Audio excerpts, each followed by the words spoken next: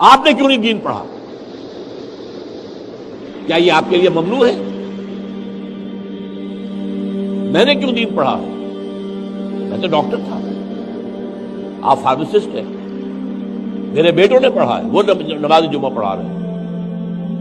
तो ज्यादती क्या है? वो हमारी है। हम गए प्रोफेशन की तरफ़ कैरियर्स की तरफ़।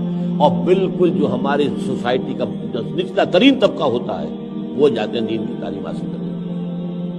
अक्सर बेशतर जो है आपको इमाम मिलेंगे हजारा और ये जो कोहिस्तान का इलाका है, वहाँ के लोग। इंतहाई गरीब। और वहाँ घर घर मदरसा खुला हुआ वो क्या है? वो रोटियाँ मांग कर मोहल्ले से लाके खाते हैं। ये तो आपने किया है ना? और फिर उनको स्टेटस ये दे दिया है कि उसके बगैर निकाह नहीं हो सकता। आप क्यों नहीं अपनी बेटी का निकाह पढ़ा सकते? Why can't you do it इस्लाम में कोई ब्राह्मणिज्म नहीं है। इस्लाम में कोई पापाइत नहीं है। इस्लाम में कोई पंडित शेख नाम की शय नहीं है। कुछ भी नहीं तो ये हमने किया है। हमने दीन उनके हवाले करके और उसे एक प्रोफेशन बना दिया है। इस्लाम में कोई प्रोफेशन नहीं है। उस प्रोफेशनलिज्म की वजह से और जो जो जेलसी होती है प्रोफेशनल जेलसी ये है जो मौलवियों के अंदर है। उसको आप गालियाँ दे देंगे।